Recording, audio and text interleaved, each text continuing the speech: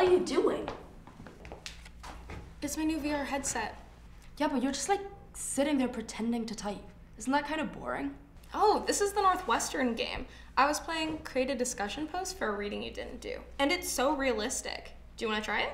Um, yeah, okay, I guess so. Whoa, what? There's so many options. Which one should I pick? My personal favorites are schedule a CAPS appointment for one year from now, theater kid encounter, and pipe burst and Bobb. Okay, I gotta try this out. What game is that? This is that five minute run to that one class in tech you hate. It's so realistic. Wait, there's even that group of five people right in front of me and they won't move from the sidewalk. Wait, hand it back. I want to try. Shut the fuck up, please. I'm sorry.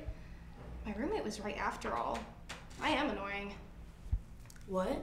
Oh no, that wasn't directed at you. I'm actually just playing that one kid who asks questions right at the end of lecture. Here, you can have a black though.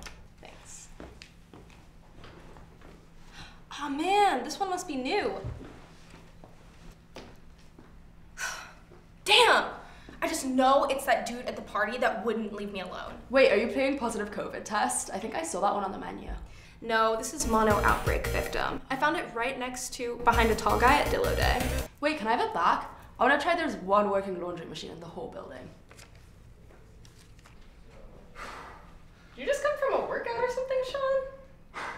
No, I made it to level 40 in Willie the Wildcat dating simulator. I've been playing this all day.